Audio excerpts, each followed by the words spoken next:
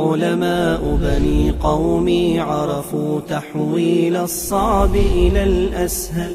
علماء لهم عقل يبني بالعلم طريقا للأفضل. علماء بني قومي عرفوا تحويل الصعب إلى الأسهل. علماء لهم عقل يبني بالعلم طريقا للأفضل.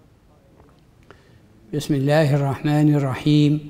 الحمد لله رب العالمين والصلاة والسلام على أشرف المرسلين سيدنا محمد وعلى آله وصحبه أجمعين. ما زلنا بصدد قراءة وشرح كتاب الروض الأنف والمنهل الروي في ذكر ما حدث عن رسول الله صلى الله عليه وسلم وروي. وهذا الكتاب كما هو معلوم شرح الإمام السهيلي لمختصر سيرة ابن هشام التي هي اختصار لسيرة ابن إسحاق رحمه الله تعالى جميعا. وقد بلغنا قول السهيلي وكذلك قول أبي هريرة رضي الله عنه هي أمكم يا بني ماء السماء.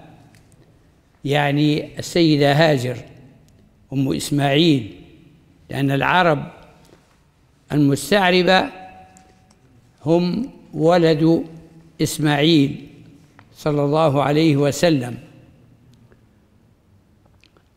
وقد تقدم القول في الدرس السابق أنه يفهم من بعض الآثار أن القحطانيين أيضا وهم عرب اليمن حمير وكهلان يشاركون العدنانيين في الانتماء إلى إسماعيل. وهذا لم يرتضيه السهيلي رحمه الله لأنه من المعلوم أن حمير وكهلان القحطانيين إنما هم من العرب العاربة أو العرباء. والعدنانيون هم العرب المتعربة أو المستعربة. ولكن يحمل من بعض يعرف أو وتحمل بعض الآثار على إفادة نسبة العرب جميعا إلى إسماعيل عليه السلام. كما في هذا الأثر الذي يروى عن أبي هريرة رضي الله عنه. والظاهر أنه قول موقوف عليه وعزاه المحقق إلى صحيح البخاري ولكني لم أقف عليه في الصحيح.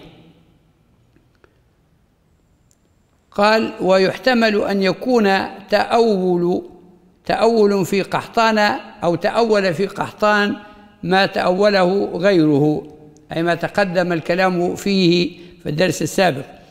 ويحتمل أن يكون نسبهم إلى ماء السماء على زعمهم فإنهم ينتسبون إليه.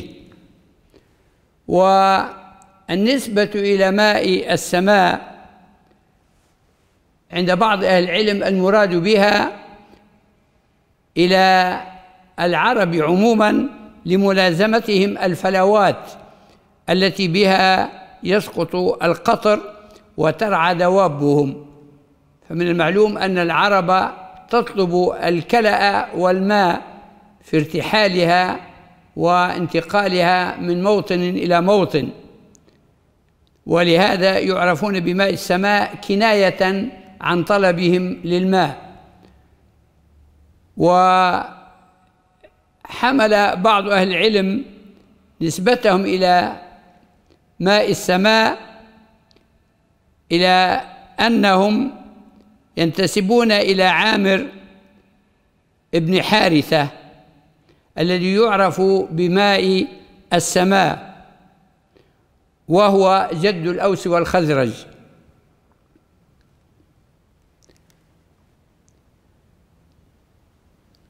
قال كما ينتسب كثير من قبائل العرب إلى حاضنتهم وإلى ربهم. والحاضنة هي المربية وهي بخلاف الظئر فالظئر هي المرضع وزوجها يسمى ظئرا أيضا للغلام الذي ترضعه زوجته. ولكن الحاضنة هي المربية التي تقوم مقام الأم في رعاية الطفل في حضانته وهو أمر معروف إلى يومنا هذا حيث يرسل بعض الأسر أبنائهم إلى دور الحضانة لترعى أبنائهم بسبب اشتغال الزوجين معا وعدم وجود الفرصة الكافية لرعاية الأبناء في الصغار في الفترة الصباحية على الأقل. والرب الذي قال السهيلي إن بعض العرب ينتسبون إلى حواضنهم إلى الحاضنة ينزلونها منزلة الأم وإلى ربهم والرب المراد به زوج الأم. فزوج الأم يسمى الرب والابن ابن الزوجة بالنسبة إليه يعتبر ربيبه يعتبر ربيبه والبنت تعتبر ربيبته. قال وإلى ربهم أي زوج أمهم كما سيأتي بيانه في باب قضاعه إن شاء الله. ثم شرع يتكلم المؤلف عن سبأ وعن أميم ووبار. وسبأ هو أبو القحطانيين. سبب بن يشجب بن يعرب بن قحطان. سبب حمير وكهلان. و والد حمير وكهلان. سبب يشجب بن يعرب بن قحطان. وأميم ووبار من العرب البائدة الذين أشرنا إليهم في مجلس سابق ولعله سيرد أيضا في بعض هذه الدروس إشارات أخرى إليهم كتصم وجديس. قال وأميم ويلفظ أيضا أميم وأميم وأميم. وسبى اسمه عبد شمس كما ذكر أي ذكر ابن هشام. وكان أول من تتوج من ملوك العرب وأول من سبى فسمي سبأ. قال سهيلي ولست من هذا الاشتقاق على يقين. يعني أن يكون سم أن يكون سبأ قد سمي بهذا الاسم لأنه أول من سبى في حروبه لأعدائه. قال لست على يقين لأن سبأ لأن سبأ بالهمز وسبى يسبي بالياء فالأمر مختلف. فالأصل الثلاثي غير لسبأ غير للسبي. وحق له أن يعترض على هذا التعلق وهذه النسبة. قال ولست من هذا الاشتقاق على يقين لأن سبأ مهموز والسبي غير مهموز. وذكر أميما ويقال فيهم أميم قال ووجدت بخط أشياخ مشاهير أم أم أميم وأميم بفتح الهمزة وتشديد الميم مكسورة ولا نظير له في الكلام. والعرب تضطرب في هذه الأسماء القديمة. يعني معنى قوله العرب تضطرب في هذه الأسماء القديمة أن في تعريب الأسماء الأعجمية التي هي ليست من لغة العرب وإنما من لغات أبناء عمومتهم الساميين كالأحباش والعبرانيين والسريان يعربونها بصور مختلفة تكون لها أكثر من صورة. قال والعرب تضطرب في هذه الأسماء القديمة وهذا ملحوظ حتى في زماننا اليوم. حينما نعرب بعض المصطلحات الإنجليزية والفرنسية والألمانية نجد أحيانا اختلافا بين اللغويين في تعريبهم لتلك الأسماء. فمنهم من يلفظها بشكل لأنه عربها عن الألمانية ومنهم من يلفظها بشكل لأنه عربها عن الإنجليزية ومنهم من يلفظها بشكل آخر لأنه عربها عن الفرنسية. بل نحن أيضا في لهجتنا الليبية عندنا بعض الألفاظ الناس يلفظونها ألفاظ إيطالية الناس يلفظونها بصور مختلفة. فهذا الموضع الواقع في شرق طرابلس الذي يسمى البيفيو منهم من يلفظه البيفيو ومنهم من يلفظه البيفي. وهكذا. فللعرب بشكل عام في تعريب الاسم الأعجمي طرق مختلفة بحسب ما يرونه من الخفة والسهولة. قال المعري متوفى عام 449 يراه بنو الدهر الأخير بحاله كما قد رأته جرهم وأميم. يراه بنو الدهر الأخير بحاله كما قد رأته جرهم وأميم. فالمعري جاء بلفظ أميم. هكذا مخففة بدون تشديد للميم أميم. قال فجاء به على وزن فعيل وهو الأكثر. وأميم فيما ذكروا أول من سقف البيوت بالخشب المنشور. كانت العرب تتخذ الخيام وربما اتخذوا البيوت في القرى والمدن المستقرة التي فيها استقرار حضاري لكنهم كانوا لا يتفننون في بنيانهم. فقال إن أميم هذا أول من سقف البيوت بالخشب المنشور. وكان ملكا وكان يسمى آدم وهو عند الفرس آدم الصغير. بعض الأسماء تتكرر أسماء الأعلام في التاريخ فيفرق بينها بفلان وفلان الصغير.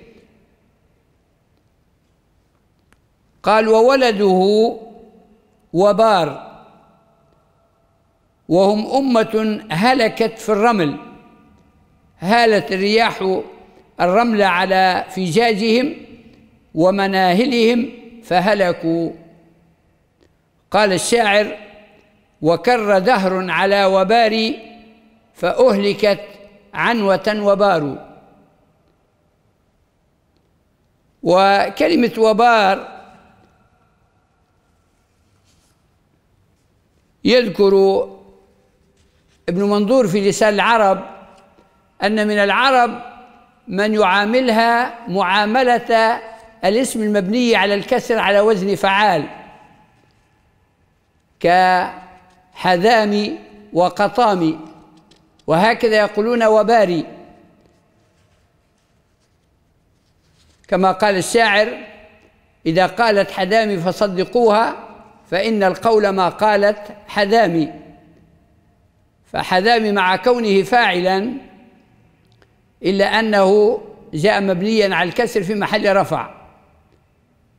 وقال ابن منظور أيضا في اللسان ومنهم من يعامل حذام حذامي أيضا كنزالي وتراكي مصدر مبني على الكسر بمعنى انزل أو اترك انزل أو اترك اسم فعل بمعنى انزل واترك نزالي وتراكي. ومن العرب من يعاملها معاملة سعاد. اسم مرتجل لكنه لمؤنث فيعتبر ممنوعا من الصرف للعلمية والتأنيث. ممنوع من الصرف للعلمية لأنه اسم علم على أنثى فهو علم وهو دال على أنثى فهو ممنوع من الصرف لهاتين العلتين. مثل ما يمنع الاسم العلم للعجمة يمنع من الصرف لكونه دالا على أعجمي اسم أعجمي فكذلك إذا كان اسما لأنثى يمنع من الصرف فلا ينون. فمنهم من يعده ممنوعا من الصرف. قال والنسب إلى والنسب إلى وبار هذه والنسب إلى وبار أباري على غير قياس. فهي وبار وباري في حال النسب يضاف إليها يلحق بها ياء النسب مشددة. وباري فتغيير الواو همزة أباري لا علة له لا لا لا مبرر له في القياس لأن الاسم إذا نسبت إليه ألحقت بآخره يا النسب مشددة وقد يحدث تشديد في بعض الحروف تضعيف لها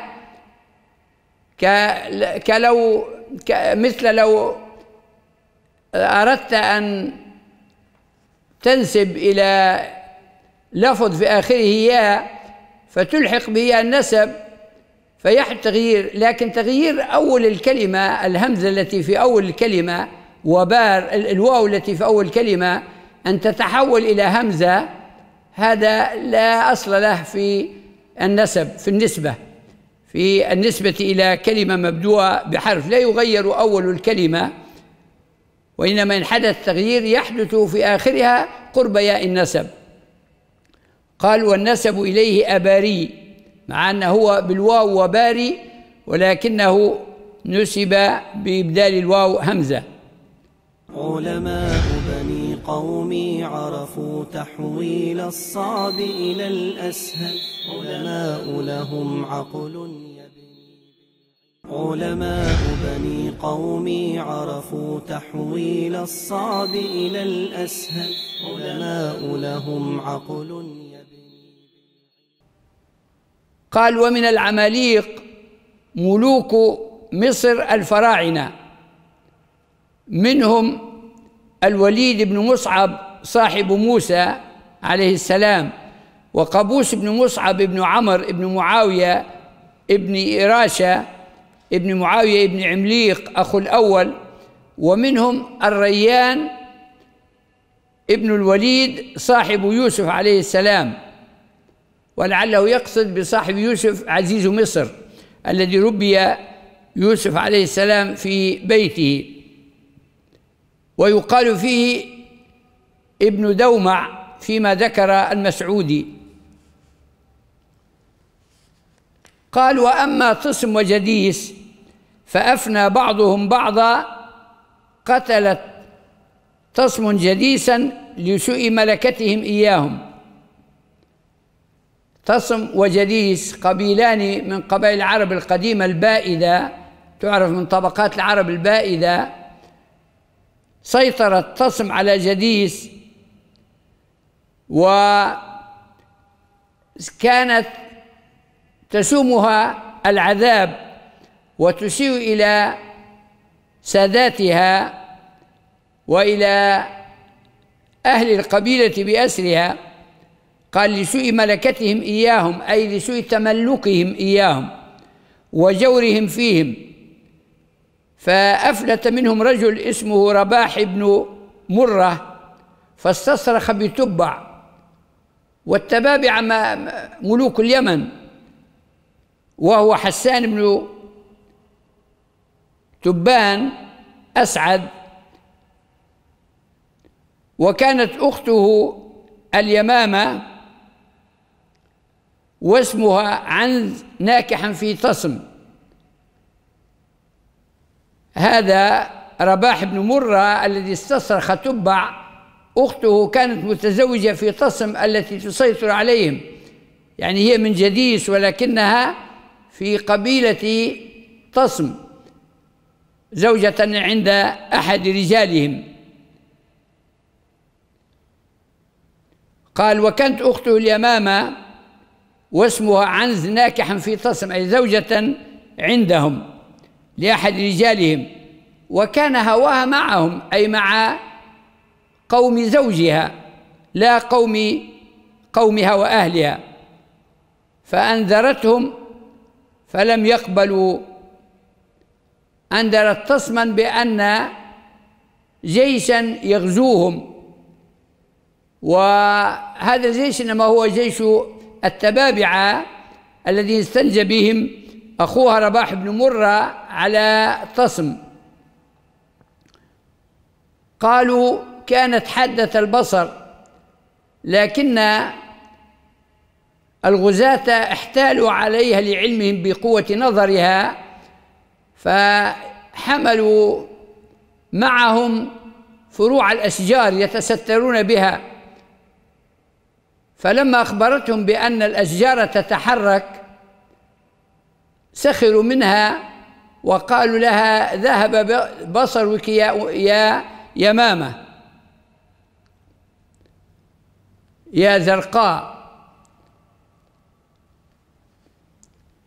قال فصبحتهم جنود تبع فأفنوهم أفنوهم قتلى وصلبوا اليمامة الزرقاء بباب جو.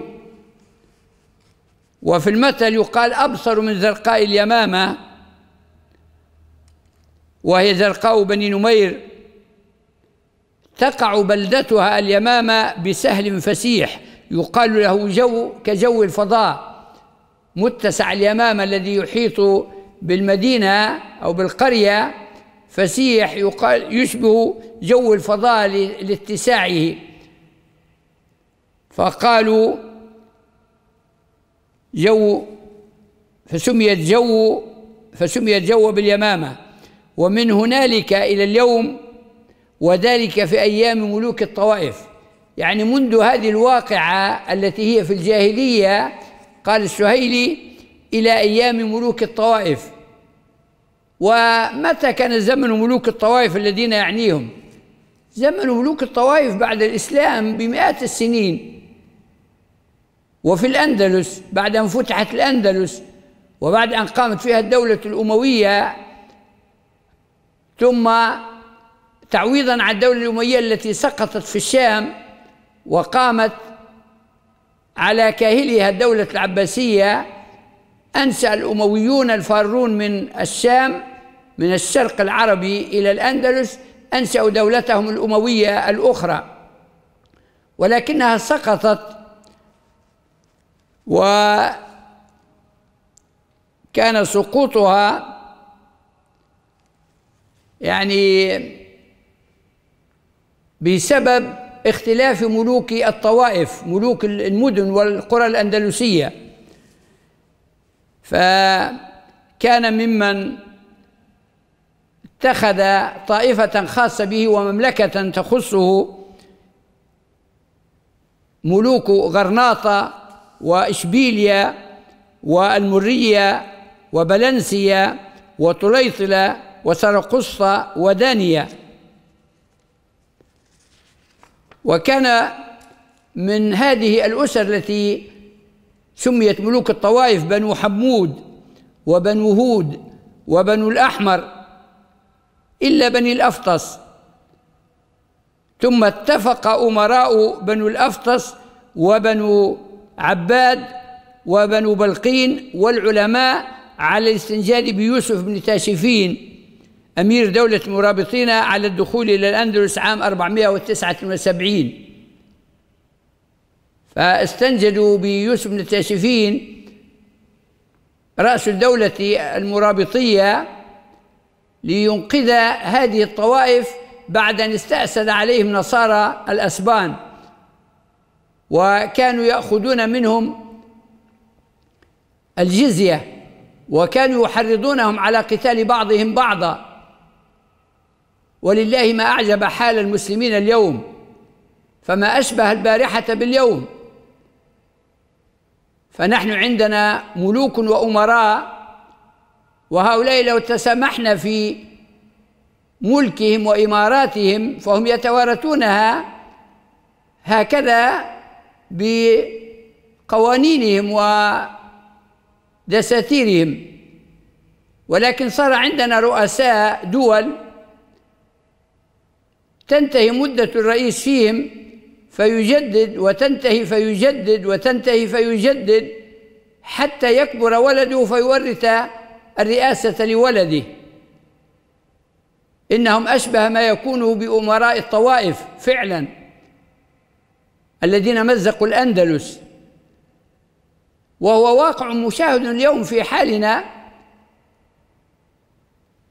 لقد كانت مصر فيها من العباقرة والسياسيين الأكفاء ما يمكن أن يرأس أمرها العقود المتطاولة.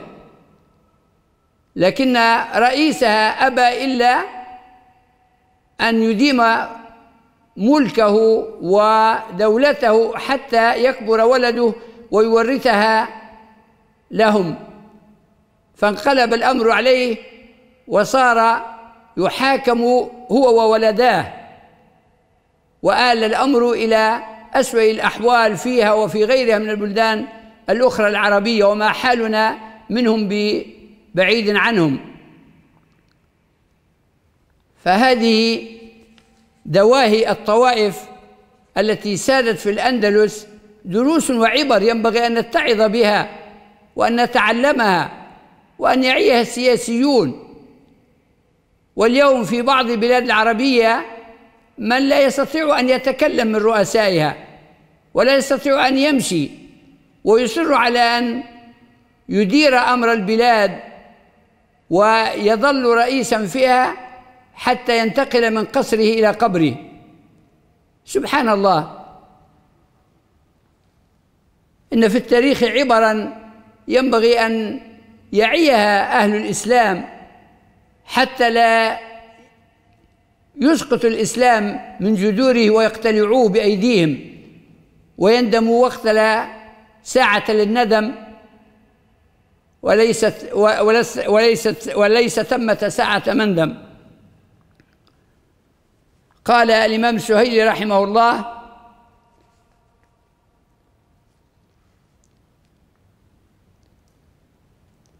فسمي الجو باليمامة من هنالك إلى اليوم وذلك في أيام ملوك الطوائف. وانتهى ملوك الطوائف حكمهم عام 479 حيث دخل يوسف بن التاشفين الأندلس. والكلام الذي يذكره السهيلي إنما هو بعد الخمسمائة لأنه ولد عام 508 وألف كتابه هذا وهو في ريعان شبابه أو ما بعد مرحلة الشباب في الكهولة فيكون تأليفه بعد الخمسمائة وخمسين. فهذا فرق أيضا من جهة أخرى لكن ملوك الطوائف الذين اقتحم عليهم الأندلس ابن تاشفين لم يسقط دفعة واحدة يسلم له بل إنه بعد أن انسحب من الأندلس عاد بعض منهم إلى ما كان عليه من سوء الحال والسيطرة على المدينة التي هو فيها والقيام بأمرها هو وأسرته وأبناؤه وأهلوه قال وبقيت بعد تصم وبقيت بعد تصم يبابا خرابا لا يأكل ثمرها إلا عوافي الطير والسباع كأنه يقصد لا يقترب من ثمارها إلا الطيور الجارحة والحيوانات المتوحشة. حتى وقع عليها عبيد بن ثعلبة الحنفي وكان رائدا لقومه في البلاد يتحرك بقومه منتقلا من موضع إلى موضع. فلما أكل الثمر قال إن هذا لطعام. ذاقه فوجده طعاما. وحجر بعصاه على موضع قصبة اليمامة. يعني جعلها ممنوعة لا يقترب منها أحد بالتحجير عليها. قال والتحجير على قصبة اليمامة يعني التحجير على المنطقة المسورة. القصبة من المدينة هي المنطقة المسورة فيها. فسميت حجرة. وهي منازل حنيفة إلى اليوم وخبر تصم وجديس مشهور اقتصرنا منه على هذه النبذة لشهرته عند الإخباريين.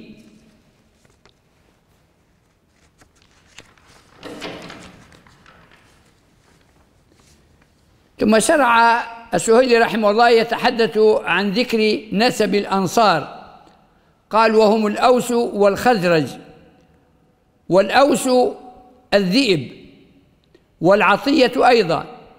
كلمة الأوس تعني الذئب وتعني العطية أيضا. والخزرج تعني الريح الباردة. قال ولا أحسب الأوس في اللغة إلا العطية خاصة. الإمام السهيلي يقول إن الأوس تعني الذئب وتعني العطية لكن تسمية الأوس هذا القبيل الذي ينتسب إلى جدهم الأوس ليس بمعنى الذئب وإنما هو بمعنى العطية. منقول عن لفظ الأوس بمعنى العطية لا بمعنى الذئب. قال وهي مصدر أسته. قال في اللسان من كلمة أوس يقولون الفعل أسته أؤوسه أوسا يعني أعطيه عطية وأعوضه تعويضا. هذا معنى أسته أووسه وأما أوس الذي هو الذئب فعلم كاسم الرجل. يعني كلمة أوس يعني الذئب لكنه اسم جنس عام. كما تقول الرجل تعني أي رجل من الرجال أي رجل ذكر من بني البشر. كذلك الأوس يطلق على الذئب. قال ولو كان كذلك لجمع وعرف. أي لو كان أوس جعل منقولا إلى العلمية للدلالة على جد الأوس لا لا جمعوه. كأن يقولوا أواسي ونحو ذلك. لكن لم يجمعوه. قال ولا عرف لم يقولوا الأوس أيضا. قال كما يفعل بأسماء الأجناس. لأن اسم الجنس أيضا لا يعرف. قال وجعلوا ابن مالك قال وجعلوا بعض الأجناس علم كعلم الأشخاص لفظا وهو عم من ذاك أم عرية للعقرب وهكذا تعالة للثعلب ومنه أسامة للأسد. اسم جنس للحيوان المتوحش معروف بالأسد. ولو كان غير ذلك ولو كان كذلك لجمع و وعرف قال كما يفعل بأسماء الأجناس ولا قيل في الأنثى أوسى ولا المؤنث منها كما يقال ذئبة. وفي الحديث ما يقوي هذا وهو قوله عليه السلام هذا أويس يسألكم من أموالكم فقالوا لا تطيب له أنفسنا بشيء. المحقق عزى هذا الأثر إلى البيهقي في دلائل النبوة ولم أقف عليه. ولم يقل هذا الأوس فتأمله وليس أوس على هذا من المسمين بالسباع ولا منقولا من الأجناس إلا من العطية خاصة فهو منقول من لفظ الأوس بمعنى العطية. علماء بني قومي عرفوا تحويل الصعب إلى الأسهل علماء لهم عقل علماء بني قومي عرفوا تحويل الصعب إلى الأسهل. علماء لهم عقل وفيه الضمير يعود على كتاب ابن هشام الذي يشرحه السهيلي. وفيه أي في سيرة ابن هشام عمرو وهو مزيقياء مزيقياء لأنه فيما ذكر كان يمزق كل يوم حلة. مزيقياء يمزق كل يوم حلة لكثرة ماله وثرائه. وهو ابن عامر وهو ماء السماء الذي تقدم ذكره معنا قبل قليل. وهو ماء السماء ابن حارثة الغطريف ابن امرئ القيس. وهو البهلول ابن ابن ثعلبة ابن ثعلبة الصنم ابن مازن السراج ابن الأسد ويقال لثعلب أبيه الصنم وكان يقال لثعلبة بن عمر جد الأوس والخزرج ثعلبة العنقاء لطول عنقه وكأنهم ملوك متوجون ومات حارث بن ثعلب العنقاء والد الأوس والخزرج بالمدينة بعد ظهورهم على الروم بالشام ومصالحة غسان لملك الروم. وكان موت حارثة وجذع بن سنان من صيحة كانت بين السماء والأرض سمع فيه صهيل الخيل. لعل أن تكون صرخة غضب من ملك عليهم أهلكهم الله بها أو تكون صرخة جن كما سيأتي أن بعض المناطق خاصمت فيها الجن سكانها من العرب وطردوهم عنها. وقتال الجن للبشر وقتلهم لهم يقع في التاريخ كما وقع لبعض الصحابة في إحدى الغزوات غزوة الخندق. وقد أراد العودة إلى بيته فأمره النبي صلى الله عليه وسلم أن يصحب معه رمحه.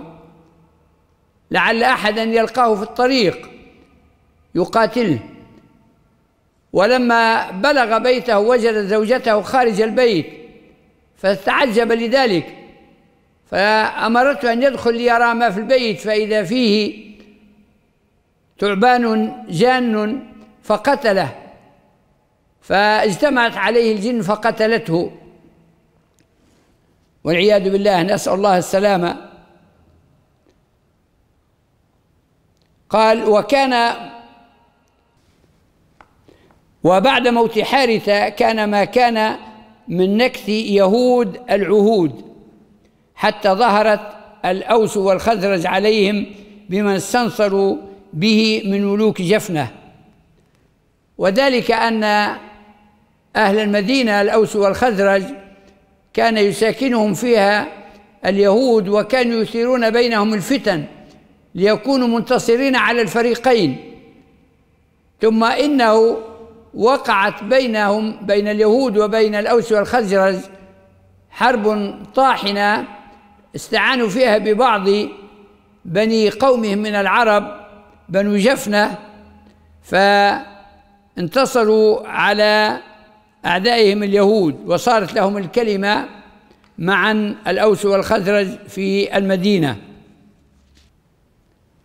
ويقال في الأسد الأزد بالسين والزاي.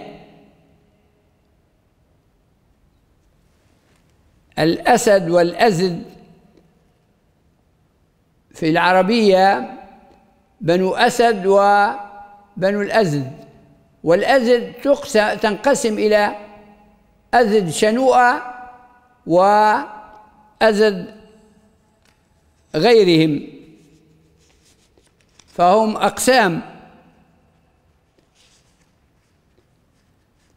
وهؤلاء الأزد الذين يعرفون بأزد شنوءة هم الذين جاء ذكر وصف نبي الله موسى عليه السلام كأنه في حديث الإسراء كأنه رجل كأنه من أذ شنوءة في طول قامته وفي ضخامته.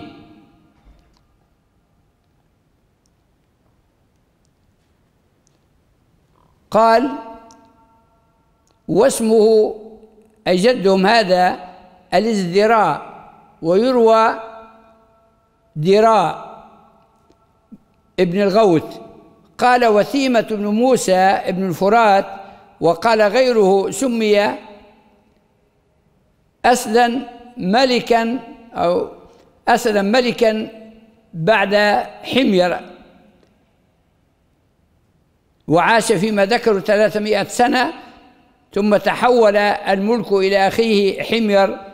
ثم في بنيهم وهم وائل ومالك وعمر وعامر وسعد وعوف. وقول السهيلي رحمه الله وكهلان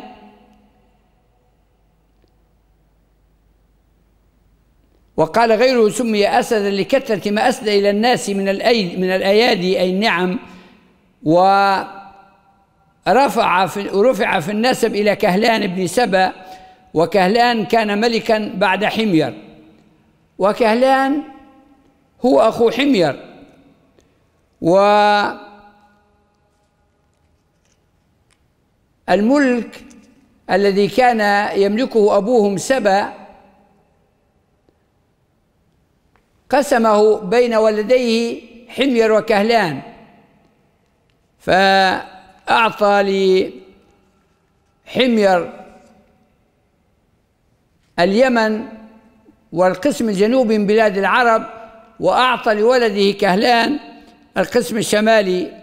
كما قال الشاعر أعطى ابنه حميرا من منه اليمن وقد أعطى الشمال ابنه المسمى بكهلاني قسم ملكه إلى يمين وشمال وجعل الولدين على يمينه وشماله فأعطى اليمن وما كان على يمناه لولده حمير وأعطى الشمال شمال بلاد العرب لولده كهلان. ولكن التاريخ يثبت أنهم كانوا ينتقلون في في أملاك بعضهم وبينهم نوع من المنافسة أحيانا. وقول المؤلف هنا بأن كهلان كان ملكا بعد حمير لعله كان ملكا بعد سبأ.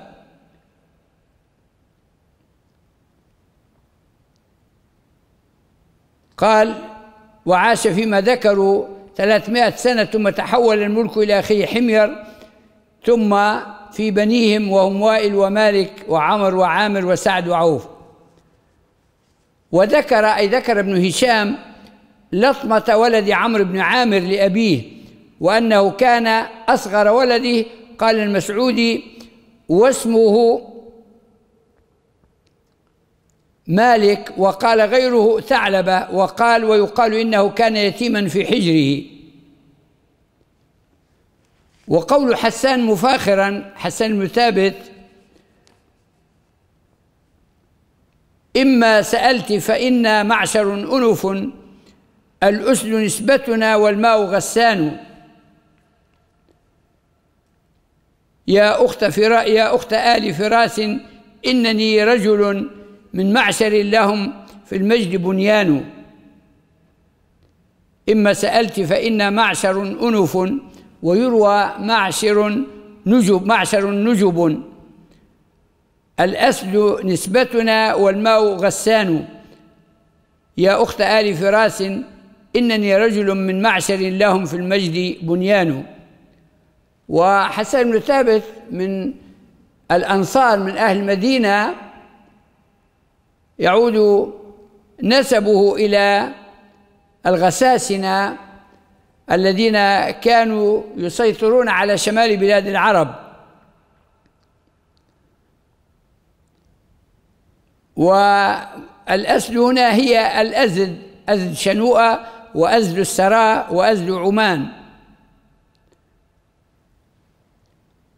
قال والشقاق غسان لأنهم ارتحلوا من اليمن فنزلوا في غسان منطقة في بلاد الحجاز فيها تسمى غسان فيها ماء يسمى ماء غسان. فنزلوا عنده وكان قليلا ثم تركوه إلى الشام. اشتقاق غسان قال اسم ذلك الماء من الغس وهو الضعيف. كلمة الغس الذي اشتق منه اسم غسان يعني الضعيف القليل. كما قال الشاعر غس الأمانة صنبور فصنبور والبيت لأوس يهجو قوما يقول لهم مخلفون ويقضي الناس أمرهم غسل الأمانة صنبور فصنبور والصنبور مراد به الشجرة الفسيلة التي تنبت في أصل النخلة. مجموع الفسائل التي تنبت في أصل النخلة وتتغذى على جذع النخلة. يقال لها صنبور وصنيبير وصنابير. صنيبير بالتصغير صيغة التصغير. فانتقلوا من هذا الموضع إلى الشام وعرفوا بالغساسنة.